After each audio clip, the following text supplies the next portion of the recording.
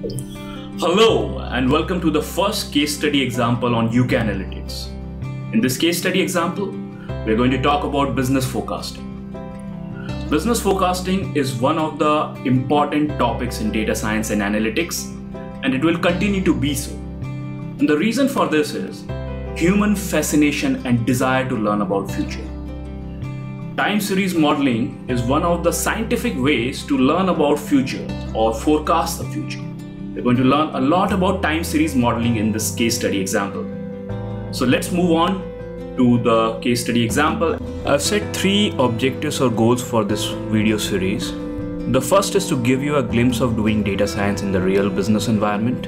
Personally speaking, mine is a close to a decade and a half long journey in the field of data science, analytics, and number crunching. And I would like to communicate the joy that I have felt while being in the field to all of you and how it's been a fascinating journey, how it's a great field to be in.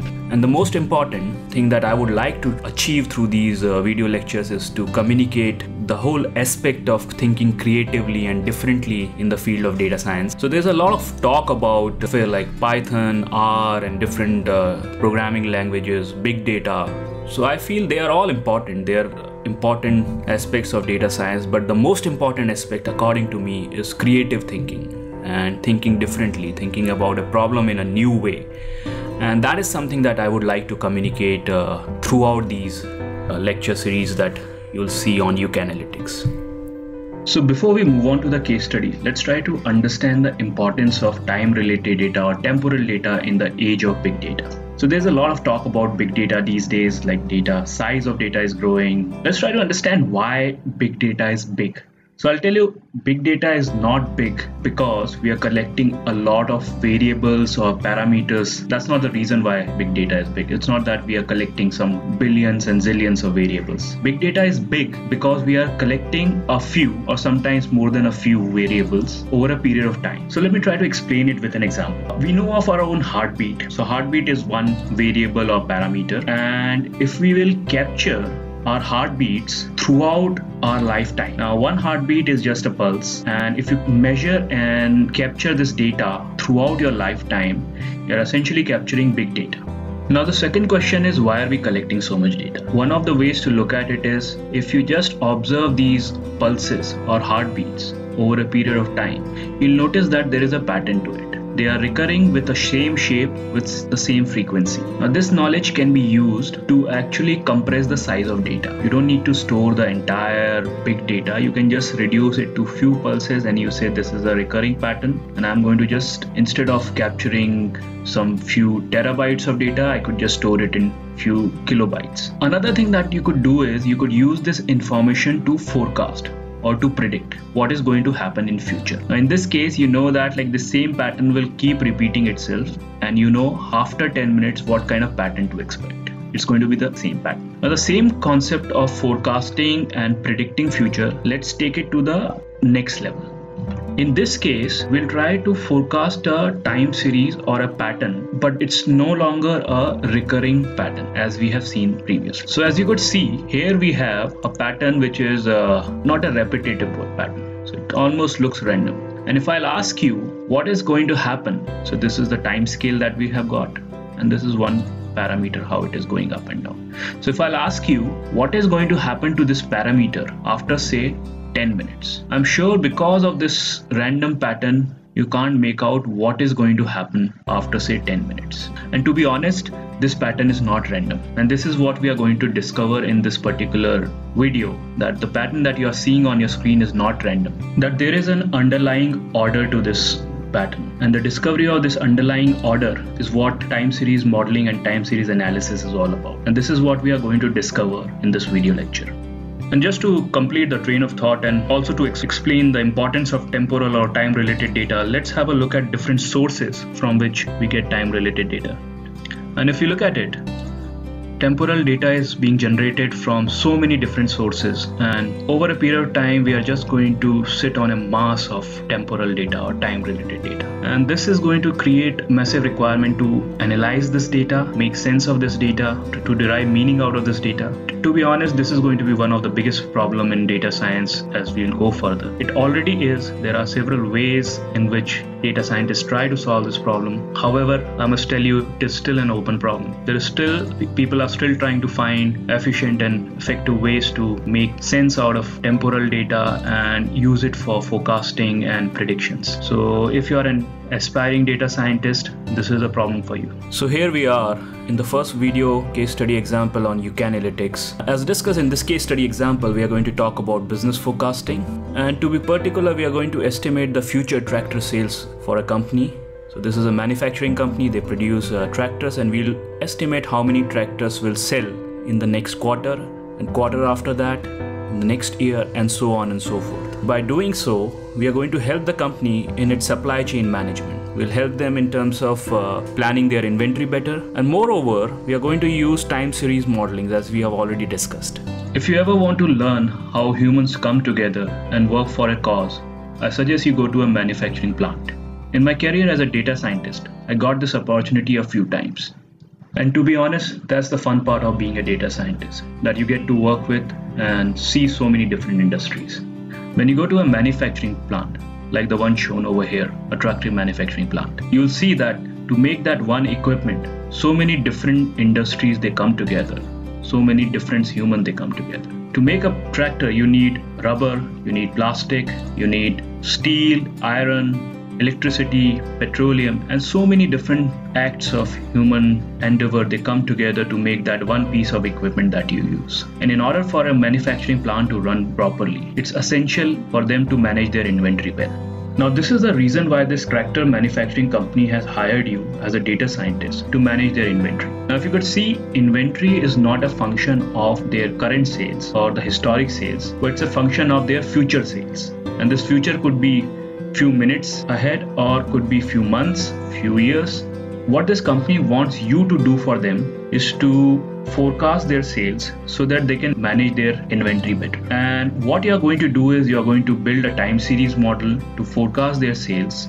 This company also wants to learn the impact of marketing on their tractor sales. So, a few years ago, this company has uh, started a new marketing department with a lot of vigor and they want to understand whether there's an impact of this marketing effort and campaigns on tractor sales. Now this on surface this may seem like a simple correlation problem. However as you'll realize later that for a time series problem the simple correlation doesn't work.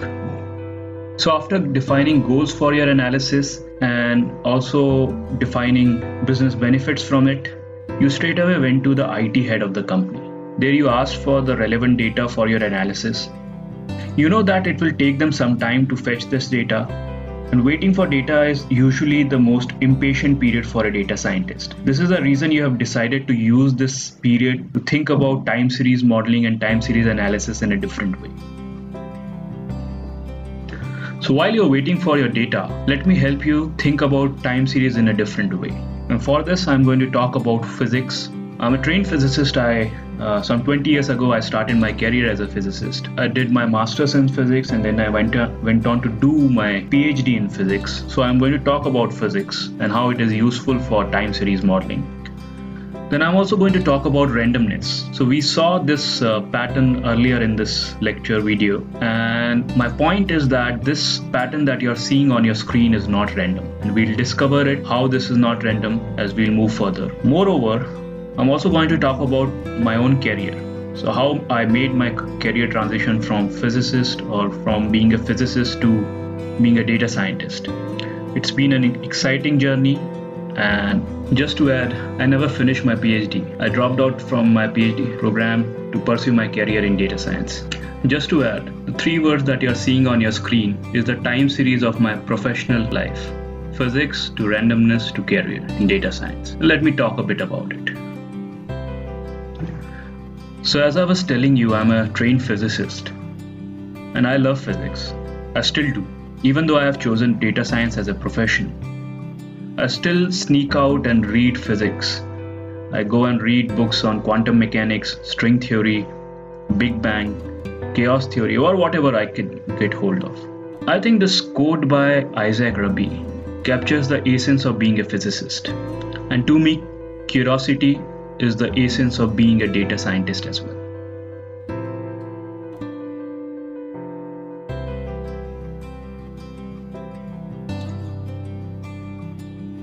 Physics is a study of forces of nature. So let's try to understand physics through this picture. The picture that you're seeing on your screen is of a baseball game. So what you're seeing on your screen is a pitcher who has just thrown a ball. And at the same time, there's this ball dangling over here. Now your brain, which understands some of these forces of nature, has figured out what is the direction of this ball. So at this point of time, the ball is over here. And if I'll ask you in next nanosecond where the ball is going to be, your brain can give a very good answer that it's going to be somewhere here. And it will continue to move in the same direction till it will f- experience yet another force. Study of this movement under the influence of different forces of nature is what physics is all about. So let's look at different forces that the ball is experiencing. So if this is our ball, then the first force that the ball is experiencing is momentum. It's not a force, but it's because of the force that the pitcher has exerted on the ball, and that same momentum is what is taking the ball forward. The second force that the ball is experiencing is the force of gravity, which is pulling it downwards. And the third force that the ball is experiencing is air resistance, which is kind of slowing the ball down. Now, what we are seeing is a picture of Newtonian mechanics or a classical physics where things are deterministic. And when I say deterministic, what it means is that if you are aware of all the forces that the body is experiencing, you can predict or forecast its position in time. And that is exactly what we did when we looked at the baseball. And if you think of it, sales is kind of similar so, a company's sales is a function of different forces that it is experiencing. And this is an analogy, don't take it too literally, but forces such as uh, supply, demand, and economy. So many different forces are acting on sales for it to move in a certain direction. And that is the reason how physics could be useful also in terms of prediction of sales or forecasting sales. So, the next thing that I want to talk about is my journey from physics to data science, how I made this transition. To tell you more about it, when I started my PhD, after a few months of starting my PhD, I realized that sitting in a lab is not my thing. I was not enjoying the thought of just being in the lab and not interacting with people. And research can be extremely lonely. And I realized that's not part of my personality. So I came to a crossroad where I was thinking about whether I wanted to continue with the research or not. So at this crossroads, I started to think about the whole purpose of career and what one wants to do with their career, what is the right choice of career. And I talked to several people about it. I did some of some introspection myself. And this is the gist of this entire exercise. So what I noticed is that life is on a time scale. It's a linear time which keeps moving ahead. And if we plot it on two axes, now this is some physicists talking for sure. So if you look at life, it keeps going through this ups and downs like a sine wave. This is true for your happiness this is true for so sometime you're up and sometime you're down. Look at it. This up and down up and down cycle is inevitable in life. You're going to go through this up and down. And choice of career what i believe is a way for you to not just deal with the ups of life but also downs. And that's when i kind of make this made this list of keywords which I believe will be helpful for me to have a fulfilling career. And these are problem solving, working with smart people, creativity, mathematics, scientific investigation, learning and knowledge sharing, delivering quantifiable benefits. So once I wrote it down and I started kind of stumbling around around different careers, it just so happened that I ended up in data science. And in last decade and a half, I must say i am able to checkmark all these keywords in my as a choice for, for my career I must also say that it's not that I don't go through these ups and downs anymore in my profession, but my choice of career, that is data science, helped me deal with it much better. So, the predictable up and down sine function of life that we have seen in the previous slide, if it interacts with other sine waves or other predictable sine waves, it can produce patterns that are as close to randomness. So, if you see over here, let's say A is the sine wave of your life, B is your family, C is your colleagues, friends, and so on and so forth. So, just the product of these four predictable sine waves can form a pattern which can look almost like randomness. And it is very difficult to predict this pattern that you're seeing over here, which almost looks like a random pattern and which is a just a product of A, B, C, and D. So you can't predict this. However, if you can just extract these four sine waves out of this random pattern, you can easily predict it. And that is the idea behind something that uh, you must have heard in your college Fourier series. And this idea is what is used very effectively in time series modeling and time series forecasting. So let me explain how this idea is used in time series modeling. So when you think of time series modeling, what you see is this top pattern if you are trying to say forecast sales what you see is the actual series which is on the top. And it looks like a jagged series. It goes up and down. It's very hard to predict anything out of this original series. So what you do is you try to extract certain meaningful patterns within this series. What you do is you divide it into trends seasonality cycles. And once you extract those meaningful patterns you want the remainder to look like a random pattern. And this idea is very similar to what we have noticed in the previous slide where the combination of several sine waves was producing the function of life which is going up and down. And that's the observed function. So what you observe is the actual series and then you try to extract the other meaningful components out of it. So now that we have come to the end of this video it's possible that i have given you several ideas around time series modeling. And some of them may even seem patchy and uncorrelated the reason for that is like I'm still getting used to this video format. And what I suggest is that you go to my blog and you can actually find this entire case study on my blog. And you will find ways to connect these ideas in that case study. So it's all explained over there if you go to this uh, manufacturing case study that I'm showing over here. And once you go to this manufacturing case study and click, click on this link, you'll find all these ideas available in this particular case study which is a time series modeling case study. And some of the ideas that I discuss in this video are from this part 1 of the case study. If you go further down you'll find most of these things that we discussed